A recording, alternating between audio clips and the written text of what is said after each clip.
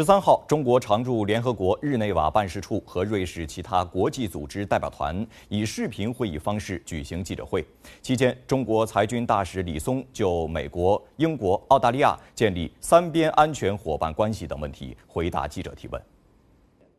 中方表示，作为不扩散核武器条约存约国，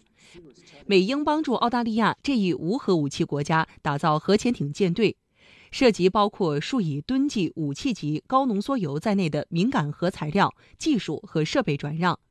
对不扩散核武器条约而言史无前例。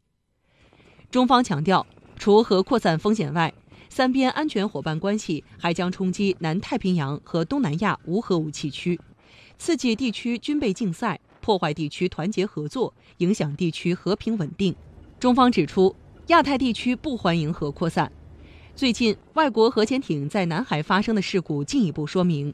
不远万里游弋到此的外国核潜艇只会兴风作浪、惹是生非，不会受到本地区国家和人民的欢迎。The cooperation you just mentioned, which is AUKUS, is a textbook case of num of nuclear proliferation, based on Cold War mentality and narrow-minded geopolitical calculation. Which constitute serious challenge, I would say, to the treaty